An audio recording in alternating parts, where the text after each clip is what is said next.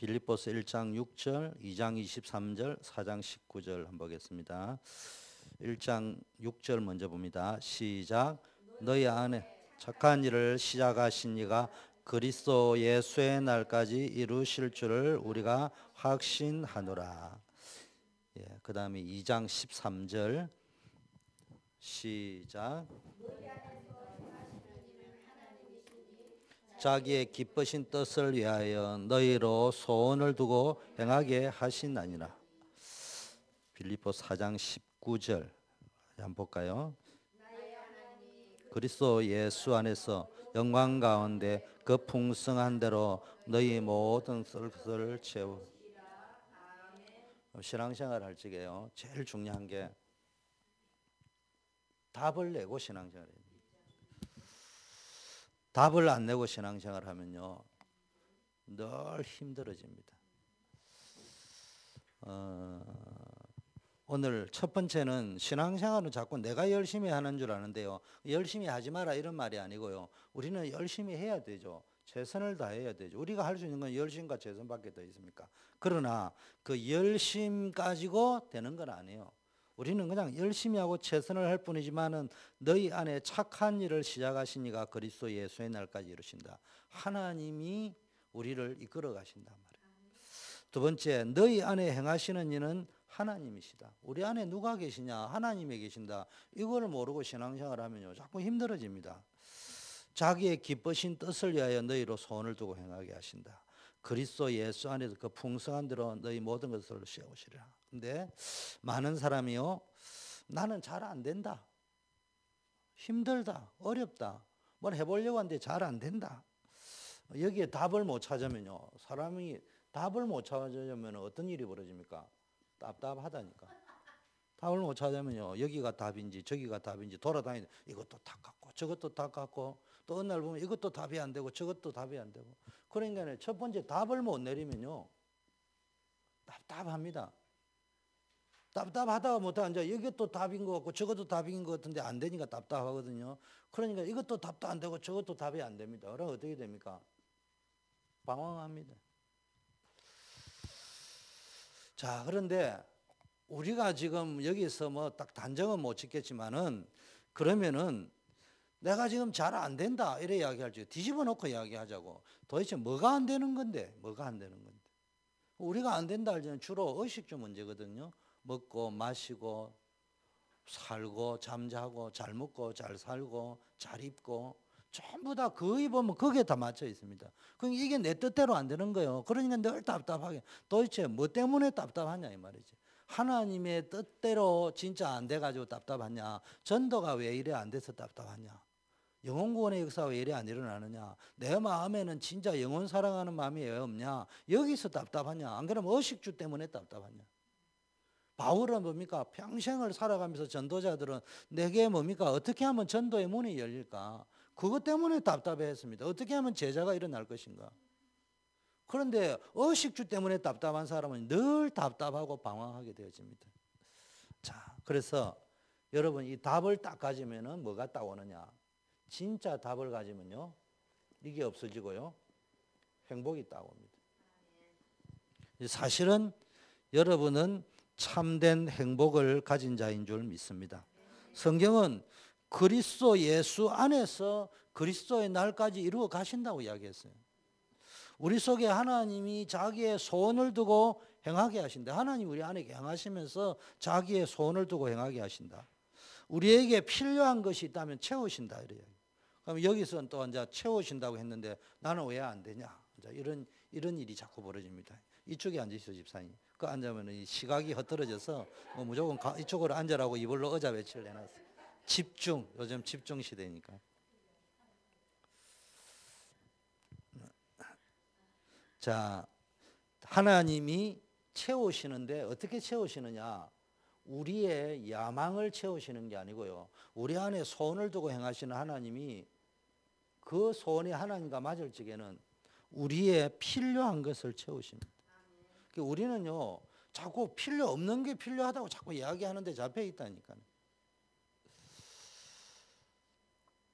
여러분 기준으로 내 필요를 채워달라고 할 것이 아니고요. 뭡니까? 그게 진짜 나에게 필요한 것인가? 한번 질문해 봐야 돼요.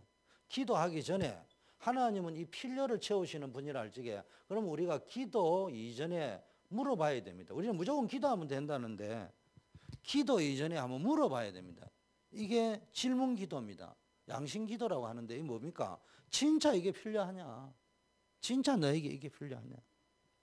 만일에 필요 없는데 한다면 우리는 틀린 기도하고 있는 거거든요. 하나님은 틀린 기도에는 응답을 안 합니다. 늘 이야기하잖아요.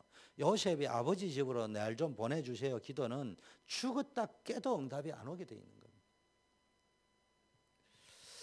만일에 여러분이 필요 없는데도 자꾸 응답이 되어진다. 그거는 지금 영적으로 굉장히 틀린 곳으로 가고 있단 말입니다. 그래서 우리는 뭡니까? 뭐가 된다 안 된다 응답이 있다 없다가 아니고요. 그리스도 안에서 하나님이 여러분의 인생을 이루어 가시는 줄 믿습니다. 그래서 전도 운동 하시는 분은요. 진짜 뭐 붙잡아야 되느냐? 딱 그리스도 안 이거 딱 붙잡아야 됩니다. 여러분이 어디 속에 있느냐? 렘넌트 일곱 명 보세요. 렘넌트 일곱 명 보면요. 시대마다 뭡니까? 큰 재앙이 일어났습니다. 그런데 뭡니까? 이스라엘은 지금 일곱 번이나 큰 고난을 당했는데요. 그때마다 하나님이 이 재앙의 문제를 회복시키는 인물을 불러서 쓰셨는데 그 인물들이 나왔는데 그 인물들을 모아놓은 게 뭐예요? 히브리서 11장이잖아요. 이런 인물들 대표적인 인물을 우리가 흔히 구약에는 렘넌트 일곱 명쭉 보니까 초대교회 하나님이 왜 이 사람들을 쓰셨느냐? 한마디로 재앙 시대마다 늘 하나님이 쓰셨던 인물들이 있는데 특징이 뭐냐? 히브리서 11장에 나오는 믿음의 영웅들, 초대교회 제자들의 특징이 뭐냐? 한마디로 말하면요. 나는 구원받은 하나님의 자녀다. 정체성이 분명했다니까. 다른 것들 죽는다 산다 뭐 이런 게 안 보일 정도로 나는 하나님의 자녀다. 구원받은 하나님의 자녀이기 때문에 행복하다. 여기에 대한 답이 딱 있었습니다. 여러분이요, 이 축복을 못 찾아버리면요, 나는 구원받았다. 나는 하나님의 자녀다. 이거를 모르면은요, 이거 놓쳐버리고 머리로 알지 말고요, 가슴으로, 우리의 삶 속에서. 그래서 이거 못 찾고 신앙생활하고 이거 못 찾고 봉사하고 막 이래 하다 보니까요. 자꾸 문제 오는 겁니다. 힘들어집니다. 어려워지는 겁니다. 행복을 다 빼앗기는 겁니다. 자, 우리는 하나님이 뭐 해라고 부르셨습니까? 세계보고마해라고. 그러면은 어, 하나님의 보실 때 저 성도가 저 목사가 저 교회가 진짜 세계보고만 할 수 있는 교회인가 목사인가 성도인가 그걸 보겠죠. 만일에 여러분이 진짜 저 사람이 세계보고만 할 사람이다 여기 뭐요 필요를 채우시겠죠. 이거하고 상관없다. 그 필요는 내 야망이다 이 말이에요.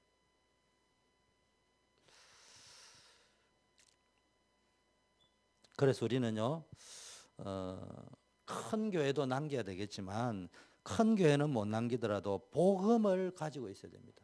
그리고 복음 전하고 복음을 남겨야 된다니까.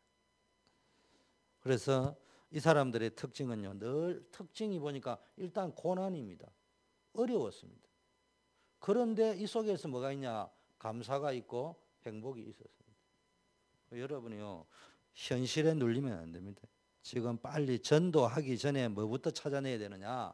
그리스도 안에 있는 행복, 그리스도 안에 있는 감사 이거 찾아내야 됩니다. 하나님이 어떤 분인가 하는 것에 대한 답이 분명히 나와 있어야 된다니까.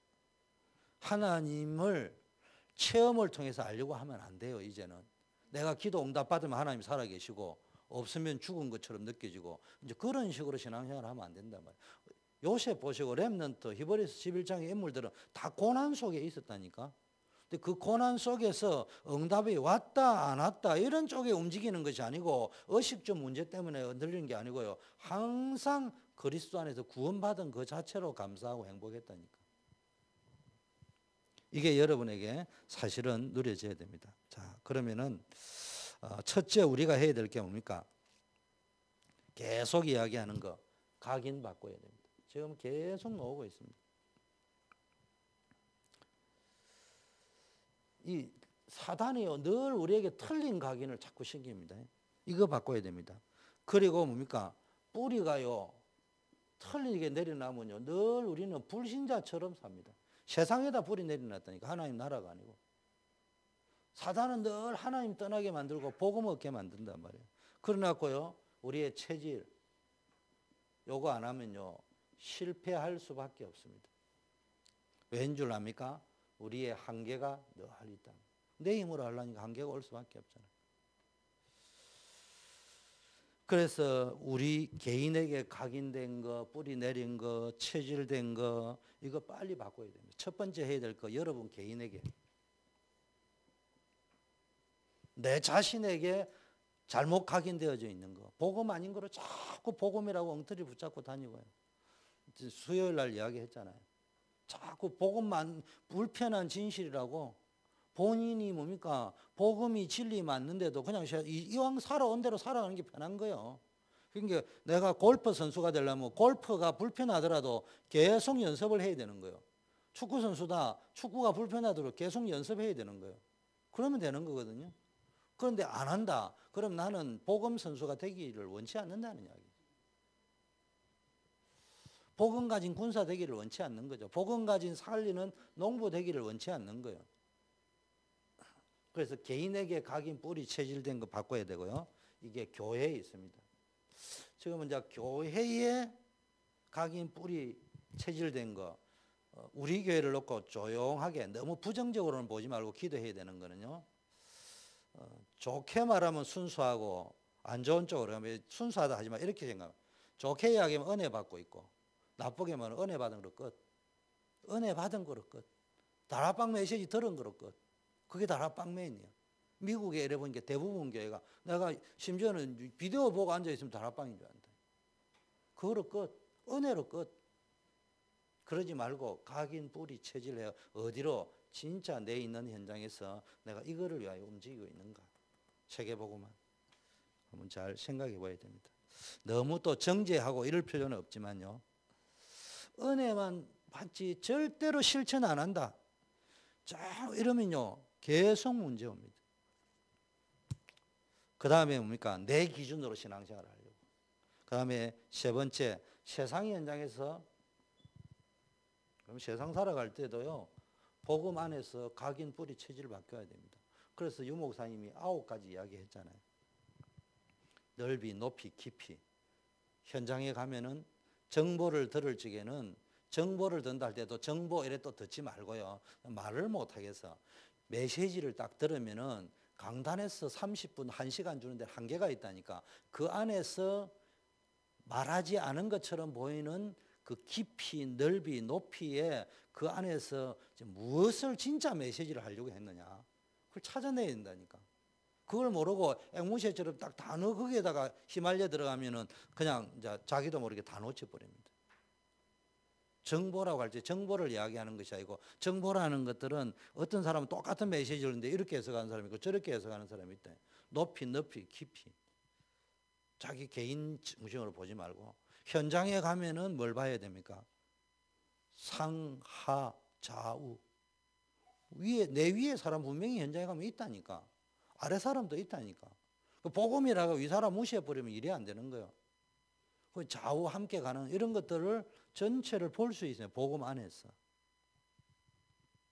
과거, 현재, 미래. 시간표를 볼 줄 알아야 됩니다. 이걸 못 보면요. 여러분의 미래는 어디로 가버린다고요? 과거로 가버리는 거예요. 과거가 언제라고요? 여러분이 가문에 흐르는 흐름 속으로 간다. 여러분 부모님이 갔던 그 길을 걸어가게 된다. 그래서 우리는 내 개인과 내 교회 생활 세상에서요 복음의 각인 뿌리 체질 이게 딱 바뀌어 버리면요 벌써 교회는 교회고 세상은 세상이 아니고요 이게 딱 하나로 딱 맞아 돌아가게 됩니다. 이게 딱 맞게 교회 세상 세상 이게 뭡니까 내 개인과 하나님의 말씀과 세상이 딱 맞아 돌아가게 돼 있다. 근데 우리는요 이거 다르고 이거 달라요. 이거 다르고 따로 논다 이 세계가 삼위일체가 돼야 되는데 그만큼 갭이 생겨 있으면은 인생이 피곤하고 힘듭니다. 자, 어, 그래서 여러분은요, 딱 아셔야 될 게 여러분을 통해서 교회도 마찬가지지만요. 첫째는 하나님의 계획이 있습니다. 늘 기도할 적에요.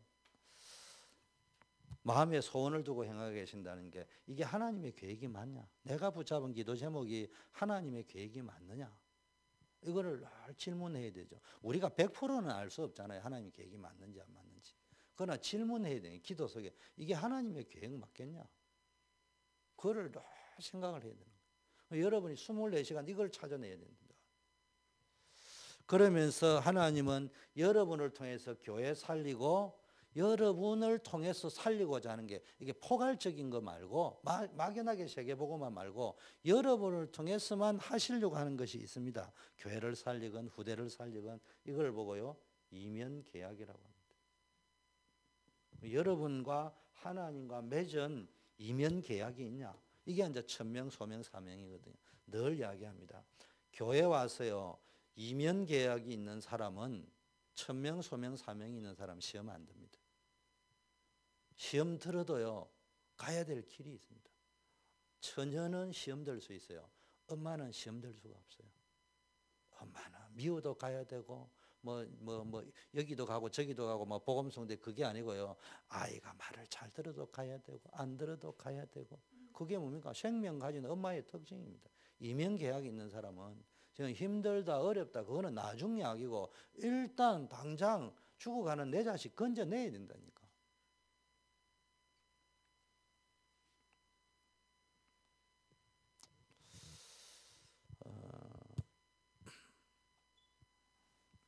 첫째, 여러분이 뭐 해야 되냐? 개인이요, 결론을 내야 됩니다. 늘 답을 딱 내고 가야 됩니다. 결론을 이미 내고 가야 돼. 이게 뭐요? 하나님의 계획.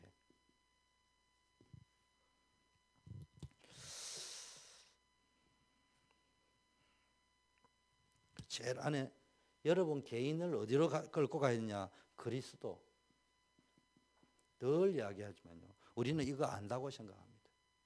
그 세상에 많은 사람들이 왜 자꾸 그리스도만 이야기하는데 자기는 단어야 알지. 그 이야기 하는 게 아니에요. 깊게, 넓게, 넓게 얼마나 아느냐. 여러분이 이제 유목사님 왜 사도행전 1장만 가지고 메시지만 하느냐. 이런 말 하는 사람들요. 한번 3년을 계속 사도행전 1장만 이야기하는데 반복된 메시지 있으면 가져와 보세요. 그 깊게 넓게 이 조금씩 조금씩 각도를 이렇게 조금씩 조금씩 바꾸가면서 우리가 놓치고 있는 포인트를 딱딱딱딱 짚고 들어가고 있습니다. 그게 신앙생활입니다. 우리는 그리스도 안에 있습니다. 왜 자꾸 그리스도 이야기하느냐? 그리스도 모르기 때문에. 두 번째 그리스도 있어도 아까 말했다시피 그리스도를 쫓아가기보다는 내가 편한 대로 쫓아가려고 하는 오늘 인터넷에 보니까 한국은 너무 편리하대요. 너무 편리하대. 그런데 피곤하대요. 그렇게 인터넷 제목이 떠올랐다. 한국은 너무 이제 말로 하자면은 이게 네팔이나 부탄이나 이런 어려운 나라에 살다가 한국에 딱 오니까 한국은 막 너무나 먹는 거, 교통 전부 막 너무너무 편리해가지고 천국이 따로 없다는 거야. 근데 집에 딱 들어오면은 뭔지 모르지만은 피곤하다는 거야. 그런데 그 사람 말에 하면은 부탄이나 이런 데 있으면요. 너무너무 불편한데요. 그날 끝을 탁 내고 나면 안 피곤하다는 거예요. 근데 그 제목을 보면서 상당히 일리 있는 표현이다. 여러분이요. 그리스도 바깥에 있으면요. 여러분은 얼마나 편한지 몰라. 그런데 여러분 인생을 마무리할 때는요. 피곤한 인생이 된다. 힘든 인생이 됩니다. 그런데 진짜 여러분이 하나님의 나라의 백성이 맞다면은 뭘 해야 되느냐? 조금 지금 불편하더라도 그리스도 안에 있는 훈련을 자꾸 해야 돼. 말씀 듣는 훈련도. 렘넌트는 이 훈련을 자꾸 해야 됩니다. 이거 안 해나면요 나중에 성인 되면 이거 될 것처럼 보이죠. 내가 부장 되고 사장 되고 박사 되면 이거 될 것처럼 보이죠. 절대로 안 제가요 양심 고백을 하잖아. 그때 성령이 역사하신 거지. 내가 성경을 읽고 기도를 해야 되겠는데 젊을 때 어떤 생각이 하나님이 감동을 기도 중에 주느냐. 내가 1년에 성경 한 독씩 해야지 앞으로 막 이래야 하는데 갑자기 기도 중에 어떤 마음이냐. 너 결혼하면 성경 읽을 시간 없어. 회사 가면 성경 읽을 시간 없어. 지금 안 읽으면 읽을 시간 없어. 그 마음이 감동이 었는데요. 진짜 제가 회사에 가보니까요. 출근부 도장 찍으면은 남은 시간 성경 읽을 수 있을 것 같으면 안 읽혀진다니까요. 왜냐하면 남은 노는 것처럼 보이는데 모든 생각은 어디 가느냐 회사가 있으면요. 여러분 잘 알아야 됩니다. 회사가 내 생각, 내 기준으로 간다. 그 사람 진급 못해요. 모든 내 일을 하는데 내 시각, 감각은 어디 가냐 부장한테 가가 있다니까. 내가 부장이 됐다. 모든 감각이 어디 가 가 있냐 하는데 남은 내가 내 일을 하는 것처럼 보이는데 내 모든 촉각이 어디 가냐 사장님한테 가가 있다니까. 성경 읽을 시간 없습니다. 여러분이 부장이 돼가 지휘를 하고 앉아 있고 사장님이 어떻게 돌아간다. 사장실 돌아간 걸 모른다. 거기서 끝. 옷 벗어야 돼. 세상은 학교처럼 뭐1 더하기 이런 이런 데가 아니에요. 그리스도 안에 있지 않으면요. 힘듭니다. 렘넌트 때 이기에 대한 완전히 각인을 바꿔야 됩니다. 여러분 아무리 생각해도요. 이 그리스도 안에 있으면 나머지는 따라옵니다. 먼저 그의 나라 그 일을 가면은 모든 것을 더하여 주십니다. 따라오는 응답, 그리스도를 따라오는 응답은 아무도 못 빼앗아 갑니다. 근데 여러분이 붙잡았다. 그건 빼앗길 수 있습니다. 여러분 이런 겁니다. 성공. 내가 붙잡은 성공은 성공이 아니에요. 그 복이 안 됩니다. 내가 축복, 그리스도 안에 있는 축복을 못 받았는데 성공했다. 세상적 물질의 축복 받았다. 그거는 복이라고 장담할 수 있는 게 못 됩니다. 여러분 신문 보면 계속 나오잖아요. 세상 여러분이 생각할 때는 집에다 돈, 돈 쌓아놨고요. 필요할 때마다 톡톡 내다 쓰고 꽃감 빼먹듯이 그러면 행복할 것처럼 보이죠. 절대로 행복하지 않습니다. 인생은요, 땀 흘려 노동하면서 돈 버리는 게 가장 행복합니다. 여기에 대한 답이 있어야 돼. 그래도 돈, 돈 쌓아놨고 그런데 쌓아놓고 있으려는 게 애굽에 가가지고 종살이 해야 되는 거예요. 그래 애굽에서 나오지 않으니까 나오기 싫은 거예요. 나오기 싫은 거예요. 여러분 애굽에서 밥을 아무리 잘 먹어도요 정상적인 사람이고 정상적인 부모 세대라면은 우리가 밥을 못 먹더라도 어떤 일을 해야 되겠습니까? 내 자식은 이 길을 가지 않아야 되겠다. 그럼 애굽을 빠져나와야 된다. 결론을 내려야 됩니다. 여러분 한국이 어째 여기까지 왔습니까? 랩런드 세대는 몰라요. 지금 한국은 전 일제 시대, 6.25 사변 시대, 4.19, 5.16 혁명 시대, 그 다음에 뭡니까? 5.18 시대, 그러면서 지금 여러 가지 세대가 지금 그냥 80년 만에 압축이 돼가지고 흘러가고 있습니다. 이런 특이한 나라도 없습니다. 그러니까 지금 살고 있는 세대하고요, 지금 살고 있는 차이가 너무 많이 나는 거예요. 괴리 차이. 그런데 그때요, 나는 굶더라도 우리 아이는 공부시켜야 되겠다. 우리 어머님이 우리 저저 아, 우리 형님 공부 시킬 때 어떻게 했냐니까 공부를 왜 시키냐 하는 사람이 너무 많아 가지고요. 이게 이 가마에다가 이렇게 뽑 이게 대나무로 합니까? 축 박아 가지고 거기서 나오는 쌀을 조금씩 조금씩 가마에 떼기마다 조금씩 저런 표가 나, 안 나잖아. 그걸 내 가지고 공부시켰다 하더라. 여러분 그래 가야 정상입니다. 그런데요, 요즘 아이들 보세요. 자기 노력으로, 자기 것으로 성공한 게 아닙니다. 부모 덕에 다, 어, 뭐, 무엇이 뭐, tiger mom에다가 뭐 helicopter mom 넣어두면 tiger mom에다 요즘 뭐 잔디 mom까지 다 나와 있다 하대. 옛날에는 치맛바람 이야기 하다가 나중에는 helicopter boy 알죠? helicopter boy가 뭔 줄 알아요? 엄마 치마 돌고 뱅뱅뱅 도는 게 helicopter boy인데 그게 사례가 회사에 대학 들어가 과장 진급해야 되는데 진급을 안 한다. 그러면 엄마가 부장의 비리를 싹 파일을 신용 조사를 해가지고 해가지고 막 어떤 짓 하고 나쁜 짓 하고 그래가 부장한테 파일을 내놓고 너 이거 이제 고발할 거야. 그 부장이 할 수 없어서 추천 내가 진급시켜주고 그걸 helicopter boy라고. tiger mom이 뭐요? 호랑이처럼 막 아들을 그래가 하버드 보내고 이걸 tiger mom이랍니다. 잔디 깎기는 뭐라고 하는지 압니까? 내 자식의 악기를 내가 다 깎아주는데 짠디 깎듯이 깎아준다고 짠디 깎기 마음이라. 좋은 말 것처럼 보이죠.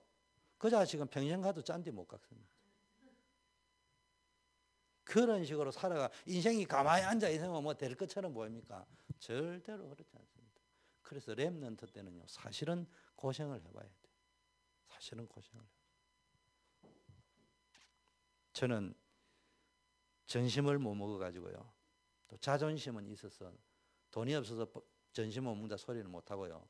여러분 옛날에는 라면 땅이라 뽀빠이라고 있어요. 이상용 씨 나오는 요만한 봉지. 그게요 물을 부어 가지고요 불어 가지고 저녁까지 먹었습니다. 그리고 밤 8시 9시까지 공부했어요. 대학 공부한다고. 고등학교 때. 그것도요 있는 날이 있는가 하면 없는 날이 있습니다. 요즘 아이들요 그 이야기 하면 뭘 코끼리 담배 피우는 이야기 하는데 글쎄 코끼리 담배 피우는 게 그러니까 의지력이 없다니까. 맨날 맞다 틀리다 옳다 좋다 글쎄 좋다 안 좋다 가지고 이제가 뭐 사장님이 만나면은 내 기분에 좋은 사장만 만날지 안 좋은 사장만 만날지 어떻게 알아요? 잘 알아요. 저는 회사 들어갔는데요. 부소장이 굉장히 똑똑해요. 남의 사람인데 아무 배경도 없는 사람 야간대학 나와가지고 야간고등학교 야간대학 나와가지고 회사 취직했는데 얼마 밑에 주 파일 좀 주세요. 이 파일 딱 뽑아주면요. 이 인간은요 파일 달라고 했으면 뽑아주는 걸 내가 쫄다우니까 뽑아주는데 다 봤으면 자기가 꼽아야 될 거예요. 안 꼽고 앉아 있습니다. 야, 미칩니다. 그냥 내 마음 같아서는 저걸 불러가지고 막 화장실 밑에 때 개패듯이 패버리가 싶기도 하고 또 한 번 그런 경험도 있고 하도 답답해서 뭐 화장실 밑에 불러가지고 쪽, 그래, 니 가가지고 말해라. 나는 내일 옷 벗으면 되고, 니는 이 바닥에 망신살 쫙 뻗치거든. 그뭐 아무 소리도 안 합디다마는. 세상에 가면요, 내 마음에 드는 사람이 있는 게 아니에요. 세상 사람들 오래 살면 된다고 하는데요. 축복도 못 받은 사람이 오래 살면 이런 말 있잖아요. 벼락방에 똥칠할 때까지 살아라. 이게 저주라는 이야기예요. 우리가 진짜 복 받은 사람이 오래 살아야 복이지. 건강도요. 복 받은 사람이 건강해야 착한 일도 하고 남도 도와줘야지. 이게 악한 맨날 살인하고 범죄하고 나쁜 짓 하고 오래 살아나면 골치 아픕니다. 명예도 마찬가지고 우리에게 이 땅에 필요하다는 건강, 오래 사는 것, 돈, 물질, 성공 전부 그리스도 안에서 하나님이 주시는 축복을 받아야 인간은 하나님의 형상대로 창조됐다는 말은 하나님이 주시는 축복을 받아야 참 행복을 누리는 거예요. 그래서 여러분이요 뭘 찾아야 되느냐? 진짜 이 안에서 뭔가 올바른 답을 찾아야 됩니다. 교회도요 여러분 교회 가서요 축복받는 흐름을 따라가야 됩니다.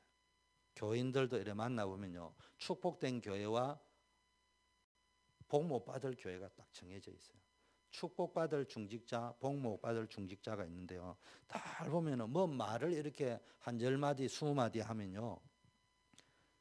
70% 이상이 목사 불만, 장로님 불만, 교회에 대한 불만입니다. 맞겠죠? 틀렸다는 말은 아닐 겁니다. 그런데요.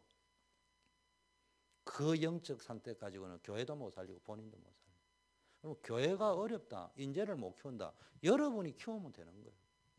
교회가 뭐 전도 안 한다. 여러분이 전도하면 되는 거예요. 교회가 뭐 재정이 없다. 여러분이 하면 되는 거예요. 항상 그런 생각을 가지고 움직여 버리면 되는데 그게 안 되면 이래서 안 되고 저래서 안 되고 참 답답해요. 그런 거 보면서. 왜냐하면 그 사람이 답답한 게 아니고 축복을 받아야 될 거 아니냐. 그런데 늘 실패하는 사람의 특징 보세요. 핑계 없는 무덤 없다고요. 핑계가 많습니다. 성공한 사람은 특징 핑계가 없습니다. 그리고 성공할 사람의 특징 핑계가 없어요. 왜냐? 그게 틀렸다. 내가 핑계를 대는 순간에 나는 그게 잡혀 들어가기 시작하는 거예요. 잡혀 들어가기 시작합니다. 그래서 여러분은 핑계를 자꾸 대는 습관 되면 안 돼요.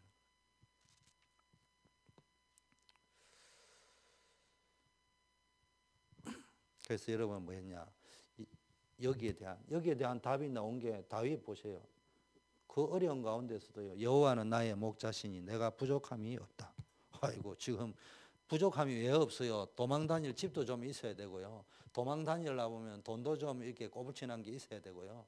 어, 언제 내가 어떤 일이 벌어질지 모르는 게 뭔가 가지고 있어야 될 거 아닙니까? 그런데도 여호와는 나의 목자시니 내가 부족함이 없다. 백일장에서 한 게 아니에요. 여호와는 나의 방패시요 나의 요새시요 나의 왕이시다. 아이고 여호와가 나의 방패고 요새고 왕이시면은 그런 일이 안 생겨야 될 거 아니에요.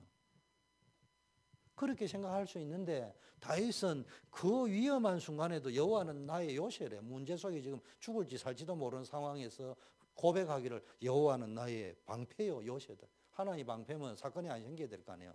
우리가 생각한 대로면. 여기서부터 자꾸 이제 갈등이 오는 거예요. 현실하고 안 맞거든. 여호와는 나의 방패요 요새요 왕이라고 하는데 듣기는 좋은데 내 현실은 안 그런 거예요. 근데 다윗은 그런 갈등을 한 게 아니고 답을 딱 내려버렸어요. 그리스도 결론 어떻게 올 것이다. 그래서 각인 뿌리 체질을 딱 바꾸시고요. 두 번째는요. 여러분이 생명, 물질, 뭐 억울한 일 이런 거 다 당해도요. 어, 상관없어요. 요셉은 억울한 일 당해도 상관없었어요. 여기에다가 집중하지 말고요. 그리스도 누리는 데다 집중하세요. 필요하다면 내 생명도 드릴 수도 있고 물질도 드릴 수 있다. 내 인생도 드릴 수 있다. 이만큼 그리스도에 대한 답이 나버리면요. 이상하게 여러분 인생은 별거 아닌데 가볍다니까. 수고하고 무거운 짐진 자들 다 내게로 오라. 내가 너희를 편히 쉬게 하리라. 나의 멍에를 메우라. 내 멍에는 편안하고 쉽다고 이야기했습니다.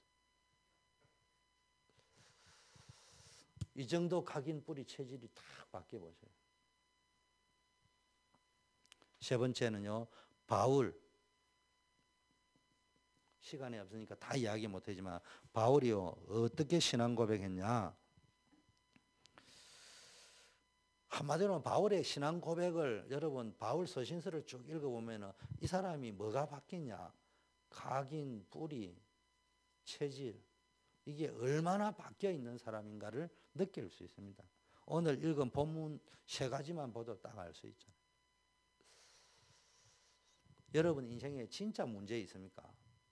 그럼 자꾸 문제라고 보지 말고요. 그 문제가 진짜 문제라면 답이 분명히 있다니까. 그걸 그리스도 안에서 찾으려고 하는 자세를 가져가지고 답을 찾아버려야 되지. 우리는 핑계를 먼저 찾아버린다. 원망을 먼저 찾아버려. 누구가 누구 때문에 누구 때문에 뭐 때문에 뭐 때문에 그걸 먼저 찾아버린다니까.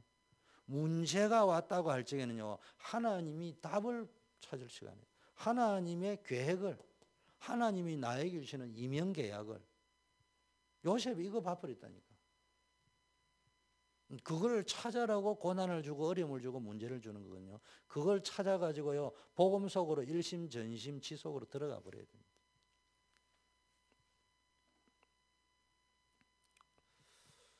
그 속에 응답이 있단 말이에요. 그 속에 응답이 있습니다. 자, 두 번째, 개인, 요 개인 이야기했어요. 교회도 뭐 해야 되느냐?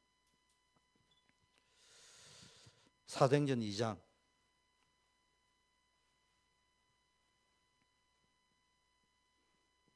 2장 속으로 들어갑니다.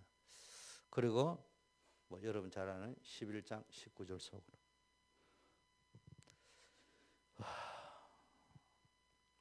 교회 안디옥계 로마 교회 교회의 모든 게 육신 기준에서요. 어디로 바뀌어야 되느냐? 영적 기준으로 바뀌어야 됩니다. 여러분 기준이 딱 바뀌어야 됩니다. 어, 육신이 필요 없다는 말이 아니고 육신은 상식이고 기본이잖아요. 밥 먹어야 된다고 상식이지. 돈 계산할 줄 알아야 된다고 상식이지. 그 복음, 복음이면 돈도 계산하지 마라. 하여튼 그래 물어보는 사람은 이건 진짜 상식이 없는 사람이지. 그 사람에게는 어떤 학자가 와가지고 학자의 해를 가지고 아무리 성경을 잘 가르쳐 줘도요. 그 사람 머리는 이해가 안 되는 거야.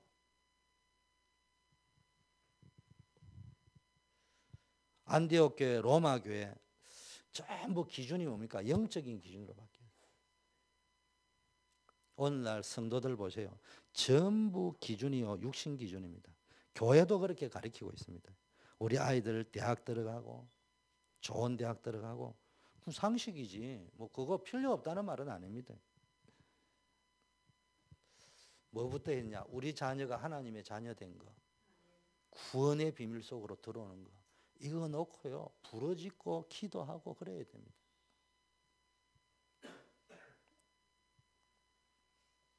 자, 한번 렘넌트들 가운데 헌신하는 사람도 나오고요. 작전도 짜봐야 되는데요. 수요 예배 사실은 렘넌트들이 와서 메시지를 듣고 금요일이 나와서 들었어요. 다음 세대가 일어납니다.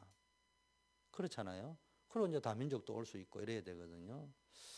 그럴 적에 오면은 통역을 하는 게 맞는지 미국에 사는 것 우리 교회가 오건 안 오건 통역을 하는 게 맞는지 한번 기도해 보세요. 그런 질문을 목사가 말하기 전에 진지하게 한번 해보는 거예요. 그럼 제가 이제 여러분 뭐 통역해라 이럴 적에는 어느 날 좋아서 우리도 구색 가주려고 통역해라 이렇게 말하는 게 아니에요. 이런 생각을 깊게 던져본다니까 하나님 앞에. 어떤 놈이 안 해도 되는데. 글쎄 그렇지 않을 거예요. 근데 나는 강요하고 싶지는 않다는 이야기죠. 여러분들이 기도를 하면서 교회와 함께 이명 계약과 하나님 계약과 비전을 찾아간다 이거죠.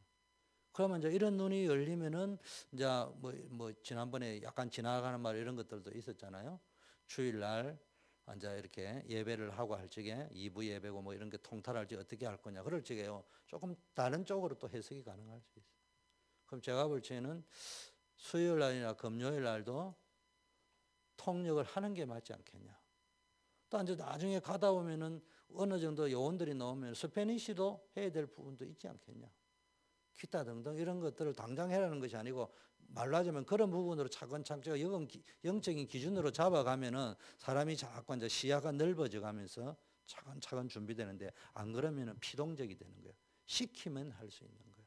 시킬 때 하면은 이제 그때 상황 따라 영적 상태가 안 돼 있으니까 지금 맞네요, 안 맞네요. 이제 이런 일이 자꾸 벌어진다 이 말이에요. 어, 자, 다니엘도 보세요. 고난 당했는데 벌써 뭡니까? 영적 기준이 잡혀 있으니까 육신적으로 죽는데 조서에 의인이 찍혀 있습니다. 근데 성경에는 의도적으로 적어놨어요. 의인이 찍힌 걸 알면서도 전에 하던 대로 체질이 되어 있단 말이에요. 우리 각인 체질이 바뀌었다는 말이에요. 그런데 창문 닫아놨고 해도 되는데 그날만큼은 또 열어놨어요. 요즘 말하면 사진을 딱 찍었다니 스마트폰으로. 다니엘이 요, 요로처럼 했습니다. 그 정인이 있다니까. 다니엘이 기도한 거를. 창문을 그날따라 열어놨기 때문에. 조서의 의인이 찍힌 줄 알면서. 그러면 또 더구나 감사함으로. 지금 이런 상황이었는데 감사할 상황입니까? 영적인 기준이 딱 잡혀져 있습니다. 자, 두 번째요. 육신 기준에서 영적 기준으로 딱 바뀌는 그날부터 여러분 인생이 달라집니다. 다르게 보이고 다른 역사가 일어납니다. 영계는요. 영적인 여러분 안 보이는 세계가 얼마나 무서운 줄 알아요?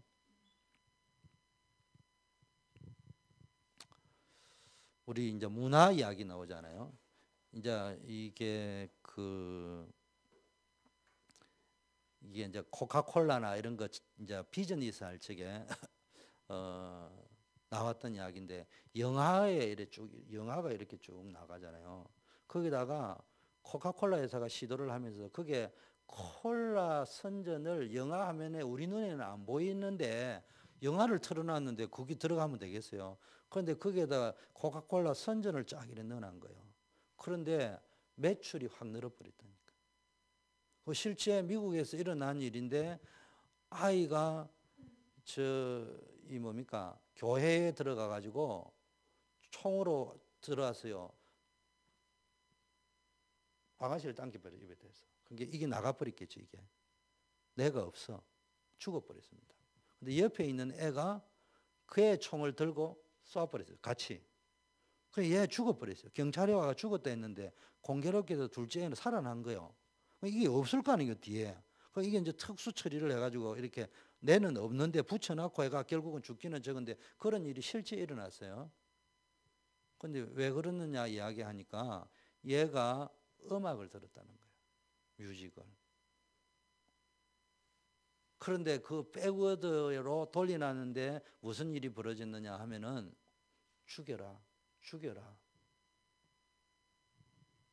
그 얘가 그거 보고는요, 그거는 들리지도 않는다니까 노래 듣는데. 그런데 얘가요 크리스마스 날 들어가 그 일을 한 거예요. 그래 이제 얘가 살았으니까 경찰은 조사를 해야 될 거 아닙니까? 그래가 이제 부모들이 이제 건의를 진정을 했겠죠. 얘가 이 음악 듣다 그랬다. 그러니까 그 음악 듣던 친구들을 불러가지고 너 진짜 이, 이 이게 뭡니까? 어, 그런 배경 음악을 넣었냐 이러니까 넣었다는 거예요. 거기까지 인정했어요. 그런데 그렇다고 해가지고 이 아이가 이래라는 것은 증거가 없지 않냐. 이제 오리발 내는 소리를 했는데 이런 것들이 지금요 여러 가지 실제적으로 일어나고 있습니다. 여러분이 육신적인 것들이요 나도 모르게 자꾸 각인 효과라는 게요 이게 무의식 속에 각인 효과라는 게 무서운 거라니까. 영적 기준으로 안 가면요 결국은 렘넌트는 알아야 됩니다. 여러분의 미래는 어디로 간다고요? 과거로 가는데 어느 과거? 여러분 엄마 아버지로 가고요. 엄마 아버지 이전에 조부모로 가고요. 가문으로 가버립니다. 과거가 그거라니까. 소금하면 장세기 3장인데. 그토록 싫은 엄마 아버지 쪽으로 가버립니다. 여러분 미래는 보나 마나라니까.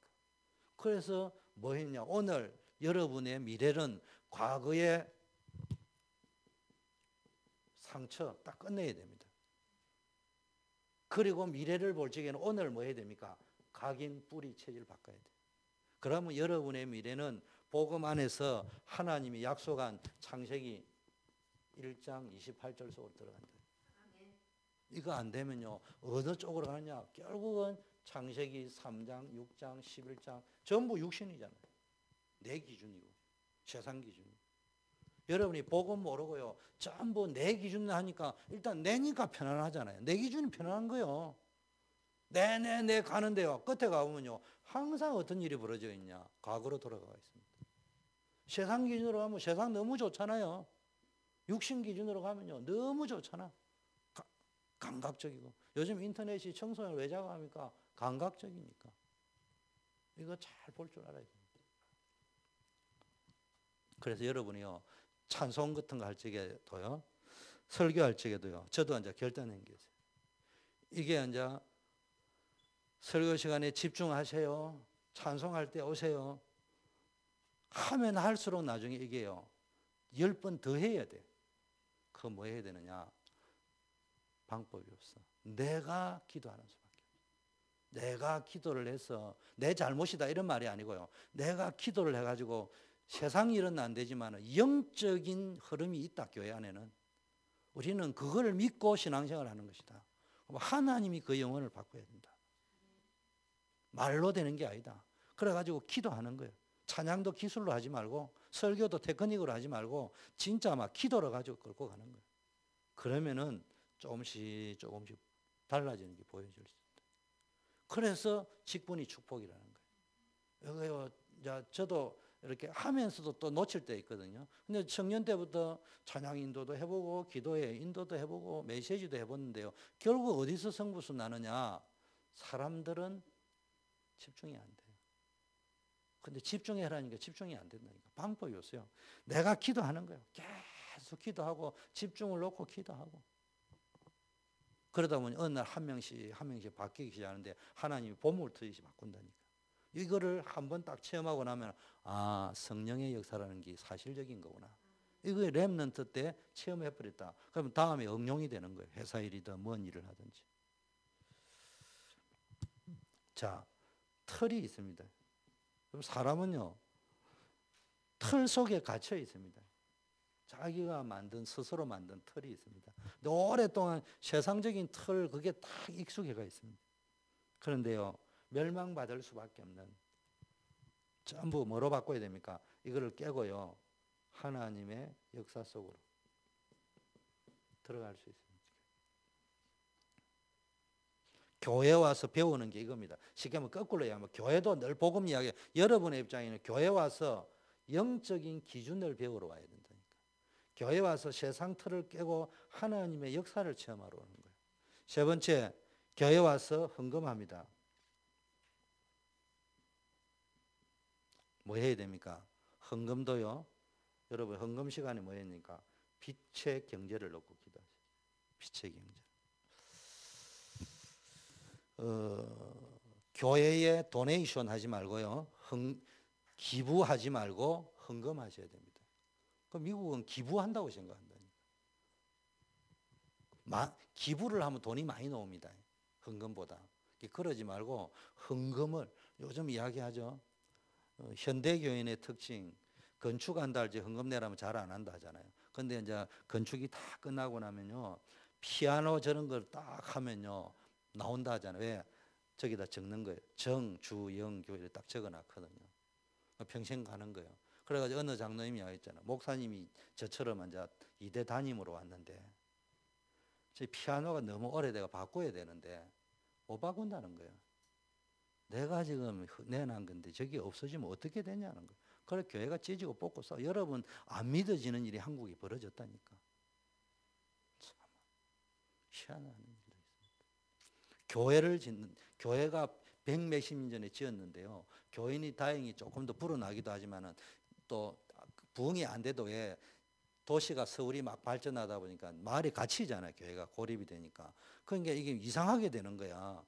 그러니까 이제 옮겨야 된다는데 못 옮긴대. 100년 전에 우리 할아버지가 개척해 놨는데 옮기면 안 된대.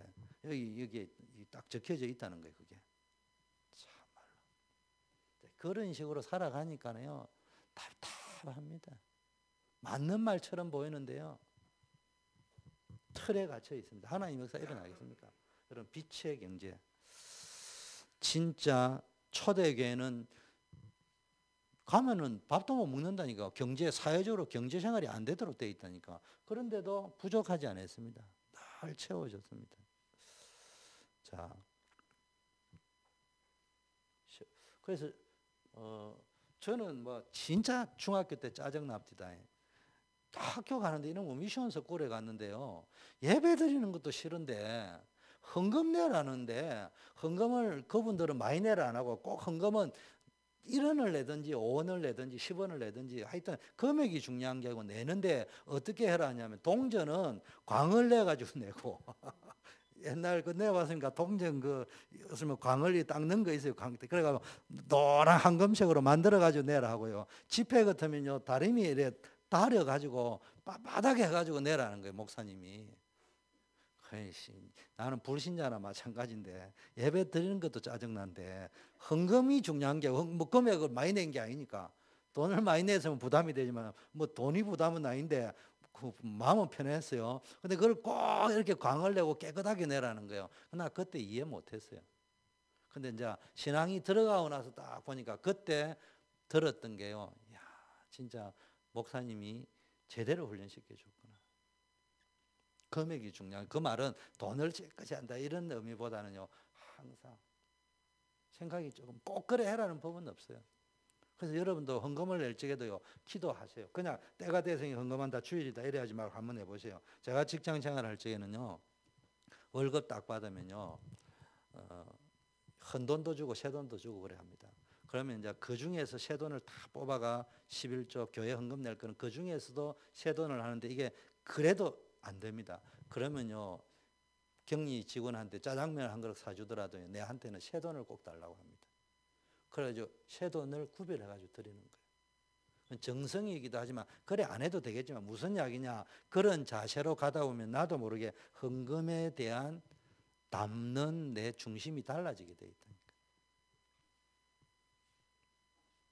그러다 보면요 그 속에 하나님의 역사도 달라집니다. 여러분이 하나님께 대한 자세가 달라지면 여러분 인생도 달라집니다. 자, 세상. 여기 현장일 수도 있죠. 세상에서 뭐 해입니까? 사도전 13장 48절. 영생을 얻기로 작정된 자는 다 구원받는데요. 첫 번째 세상에서는 영적 싸움을 싸워야 됩니다. 군사입니다. 그럼 세상에서는 디모데후서 2장 1절에서 7절. 그래서 여러분 수요 금요 마치고요. 그냥 끝내지 말고 여러분이 가서 하루에 한 번이라도 기도 수첩을 하든지 이걸 하든지 해가지고 한 개라도 딱 실천할 걸 한번 해보시라니. 영적 싸움, 각인 뿌리 체질, 어, 공부를 어떤 식으로 해야 되느냐? 영적 싸움 한다 생각해. 공부한다 이렇게 생각하지 말고요. 영적 싸움 해야 되는데. 교회 봉사도 희생한다 이렇게 생각하지 말고 영적 싸움한다 이렇게 생각하죠. 늘 영적인 싸움의 자세로 깨어 있어야 됩니다. 싸움의 대상이 사람이 아니에요. 이게 사단입니다. 그리고 뭐 해야 됩니까? 선한 싸움. 다른 말로 하면은 선을 가지고 악을 이겨야 됩니다.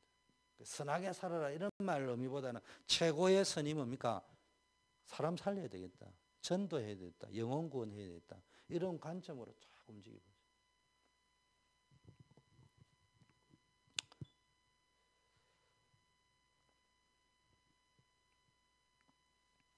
육신 가지고 싸우지 말고요. 선을 가지고 악을. 그래 로마서에는 뭡니까?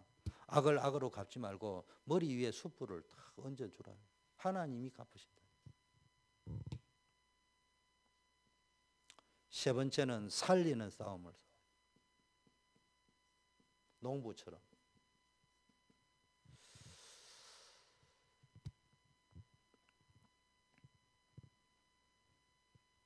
복음 전하는 사람은요. 일단 우리는 가지고 가지고 영전 메시지만 무조건 하는데 영전 메시지 하세요.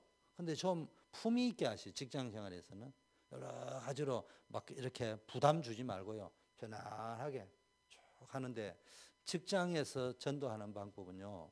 제일 먼저 뭐 해야 됩니까? 여러분이 내가 그리스도인이라는 것을 보여줘야 됩니다.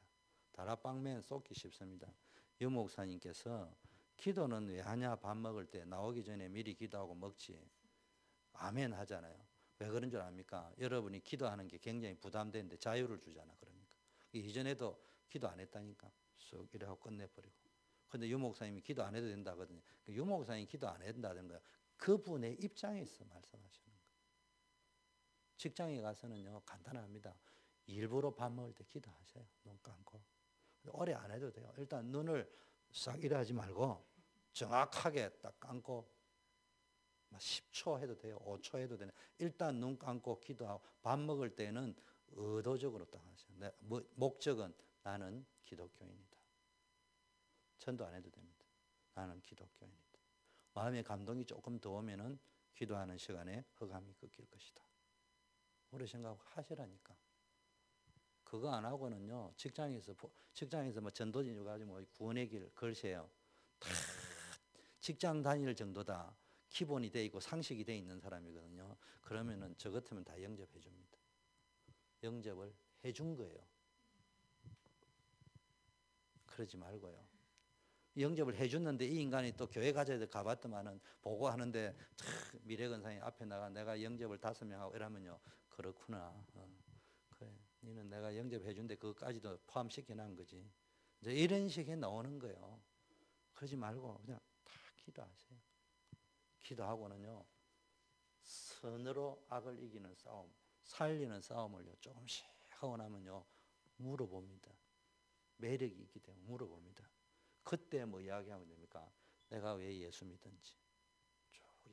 그 평소에도 쭉 지나가면서 고상한 예수를 좀 이야기. 수준을 높이라 이런 말이 아니고 고상 막 밀어붙이는 그런 거 말고요. 고상 안 해도 되니까 그 사람이 볼 때는 고상한 거는 툭툭 나 예수 믿고 나서 행복한 거. 예수 믿고 난 예수 믿는 너무 행복한 거. 이런 것들 얼굴 보면 나오거든요. 독을 품고 막 말을 해야 되는데요. 평안하게 그 사람을 용서해 주고 양보해 주는 것처럼 보입니다. 그때 아, 저 사람이 처음에는 선해서 그런 거라니 그게 아니고 예수 이야기를 한마디 해놓으면 정상적이고 직장 다닐 정도다 상식이 있는 사람이에요. 저 사람이 양보한 게 아니고 저 사람이 믿는 예수 때문에 양보했구나. 이런 느껴질 수 있는 상황을요 조금씩 조금씩 만드는 이렇게 만들어 가면은 이 사람들 머릿속에 어느 압니다. 저 친구는 예수쟁이기 때문에 양보한 것이다. 이런 것들이요 쫙쫙쫙 이렇게 들어가면요 세상의 허감이 꺾이게 돼 있습니다. 근데 그 앉아가 기도할 때마다 앉아가지고 또 막 예수 이름으로 명하니 허감만 물러갈지어다 옆에 쌓고 앉아 있으면요 속을 앉아 네가 지금 허감인데 이라 불신자가 지도 모르는 허감을 네 속에 허감이 꽉 찼네 이랍니다. 직장 생활은요 진짜 직장 생활을 한다.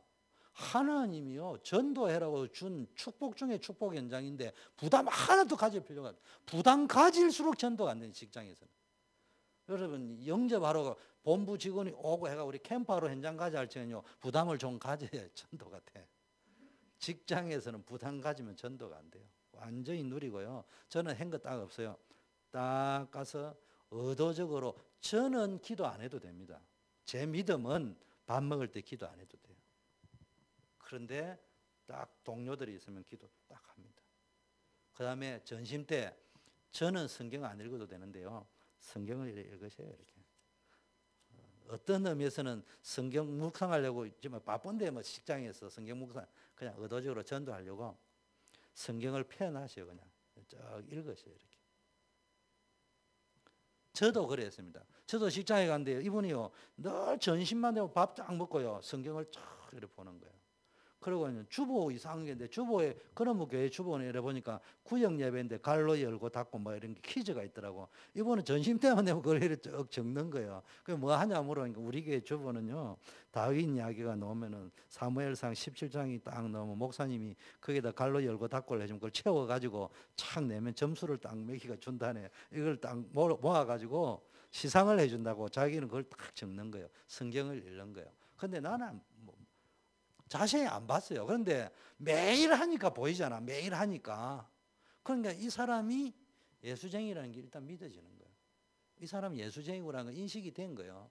그 다음부터는 자기가요 기도하죠, 성경 읽죠. 그러면서 뭐 합니까? 제보고 간단하게 해서 주 선생님은 보니까 책을 읽기를 참 좋아하시는 것 같은데 혹시 성경 읽어봤어요? 예? 성경이 베스트셀러라는 거 알아요? 예? 어, 내가 남아 수독 오거스라고 막 읽으래가지고 성경이라는 제목은 알지 읽어본 적은 없습니다. 그러니까 성경이 베스트셀러라는데 내가 자존심 상 말은 안 했어요. 내가 그래도 삼국지를 몇 번을 읽었고 어? 책은 내가 쉽게 말하면 남들이 대학 고등학교 읽어야 돼. 나 초등학교 다 맞댔다고 자부심을 가지고 있는 사람인데 성경은 안 읽었다는 게 아니고 베스트셀러라는데 그래서 내가 안 읽었다면 자존심 상해서 안 읽었다 소리 나고 입 딱 닥치고요. 어, 그래요 이러는데 그날 무겁습니다. 나는 책을 안 읽은 사람이구나. 집에 딱 오니까요. 이따만 성경이 다행히 있어요 우리 집에. 나중에 하는데 그 교도소에서 나오는 거라니 그거는. 이게 큰 거 말고 우리 지금 성경이 반쪽짜리로 되니까 양이 두꺼울 수밖에 없어. 그래가지고 그거 읽기 시작했습니다. 읽다 보니 은혜가 됐어요. 아, 이거 작아서 안 되겠다. 어떻게 해야 될 거냐. 기도, 뭐, 기도가 아니죠. 그냥 생각을 깊게 했는데 뭐 간단하다. 그래가 뭐 했냐. 지나가는 고물 삽니다. 아저씨 빨리 오세요. 그래가지고요. 책 이거 다 사가세요. 돈 주세요. 돈 받아가 성경 샀어요. 그래가지고. 제가 지금 무슨 이야기 했냐. 그분이 별로 전도한 거 없어요. 자기 밥 먹을 때 기도하고 성경 읽고요. 주보에요. 교회에서 주는 주보 가지고 열심히 기도한 거, 그거 뭐 해요? 윤성형님 뭐 해요? 그러니까, 아, 제가 이거 하고요. 우리 주선생님을 위해서 기도하고 직원들을 위해서 기도하고. 했는지 아닌지 잘 모르겠어요. 일단 말을 그래 하더라고.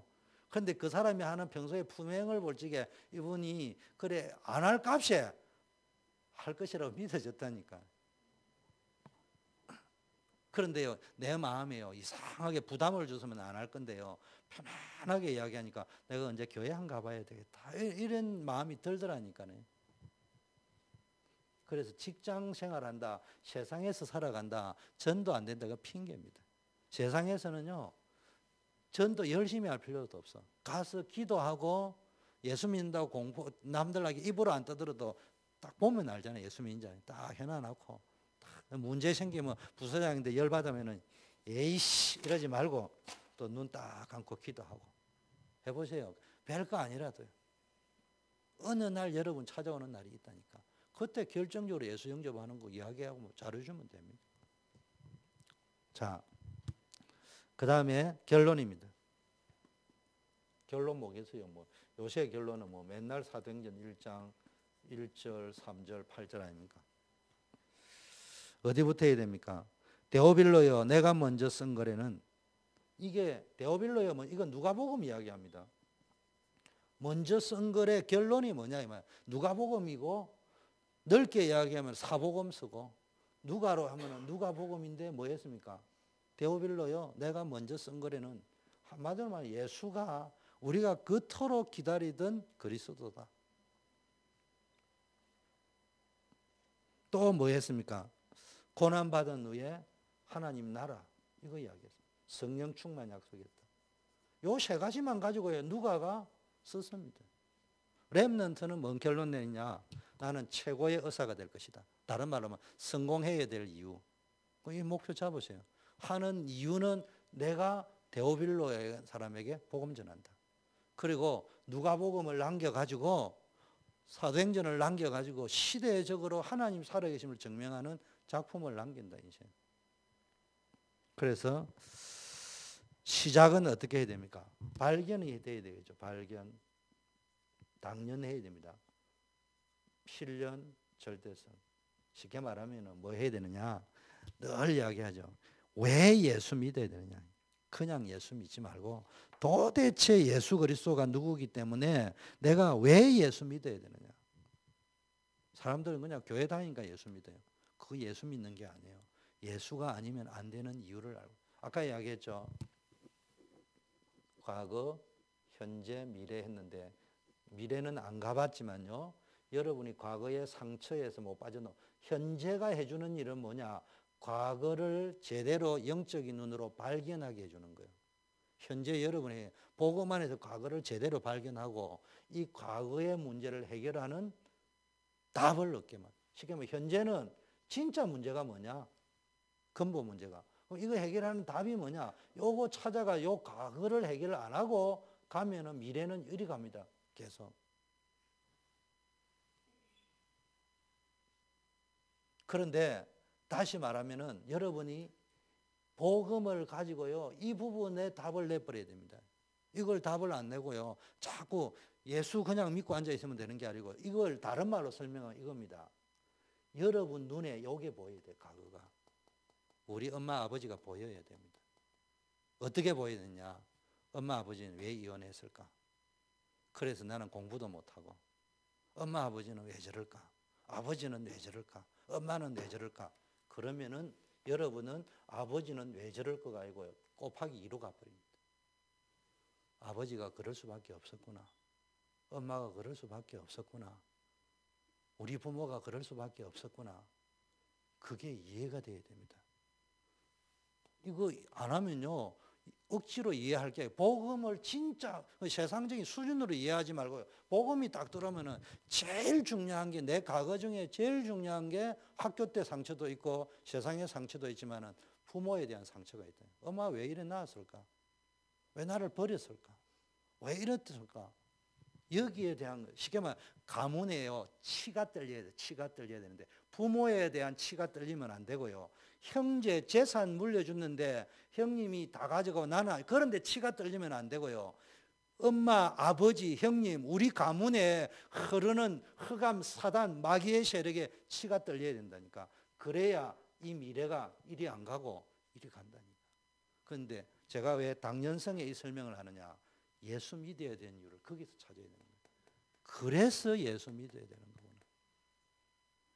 여기에 대한 답이 안 나오면요. 맨날 이론입니다.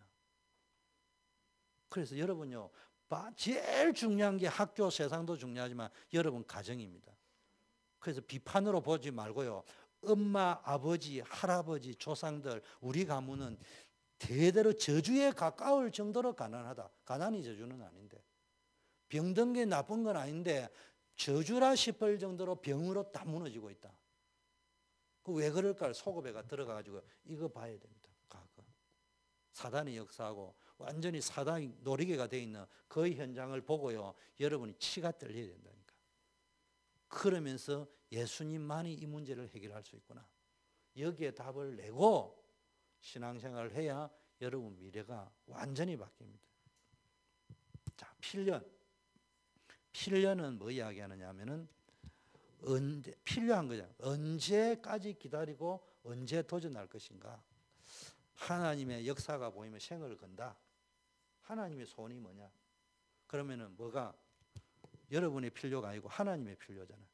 그게 이제 보일 때까지 기도하는 거예요. 절대 절대 계획이 보이면요. 도전하면 됩니다.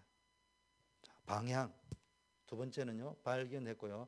두 번째는 뭐 지금 수요 메시지 했던 것 반복하는 겁니다. 알고 보면 오직 오직 오직이라는 말은요 이것저것 하지 말고요 우리가 생을 걸어야 될 오직이 뭐냐 그리스도 여기에 대한 답이 나야 됩니다. 그러면요 유일성 하나님 오직 그리스도 유일성 하나님 나라죠. 사도행전 1장 8절 재창조의 역사. 성령 충만 받으면요 재창조의 역사 일어납니다. 세 번째 올인할 것 찾아야 됩니다. 발견되고 나면요 방향이 나오고요. 방향이 나오면 나도 모르게 올인이 가능합니다. 천명 사명 사명이 깨달아지면 올인이 되는데 이때부터 우리가 흔히 말하는 24시 기도 24시 행복이 되고요. 25시 하나님 역사가 체험되고 영원히 남을 응답들이 오게 됩니다. 마지막 네 번째 목표. 요때 되면은 진짜 목표가 딱 나옵니다. 여기 이제 우리가 말하는 사명이 됩니다. 그러면은 우리에게 목표와 사명이 딱 보입니다. 어, 그래서 늘 지금 계속 주일부터 시작해서 반복되는 흐름은 각인 뿌리 체질 바꿔야 된다. 그런데 그 부분에 대해서 이렇게 저렇게 메시지를 하니까 여러분들이 진짜 우리 워싱턴 초대교회 전 성도님들이 경제의 축복도 누려야 되겠고 건강의 축복도 누려야 되겠고요. 자녀의 축복도 누려야 됩니다. 먼저 그의 나라와 그 의 를 구하면은 모든 것을 더한다고 했습니다. 각인 뿌리 체질이 바뀌면은 한 시간 메시지가 아니고 각인 뿌리 체질을 바꾸면은 5분 메시지를 듣든 한 시간 메시지를 듣든 300년의 메시지가 여러분 속에 각인이 된다니까. 뿌리가 내리고 막 깨달아지고 막 흥분이 되어지고 하나님이 살아계시구나 믿어지고 이럽니다. 그러면서 기도하면요. 이상하게 여러분 인생이 날아갈 것 별세계에 사는 느낌이 듭니다. 그때부터 역사가 달라집니다. 우리는 역사를 세상의 의식주의 역사를 바꾸려고 살아가는 건 아니지만은 진짜 영적인 역사를 따라갈 적에 하나님이 여러분을 통하여 교회를 살리고 세상 살리고 후대 살리는 영적인 축복이 있을 줄 믿습니다. 우리 합심해서 한번 기도하겠습니다. 우리 먼저 렘넌트 찬양 콘서트를 위하여 기도하고 한 두 가지만 기도하고 아, 개인 기도하다가 마치겠습니다. 우리 렘넌트 찬양 콘서트 우리 렘넌트들이 진짜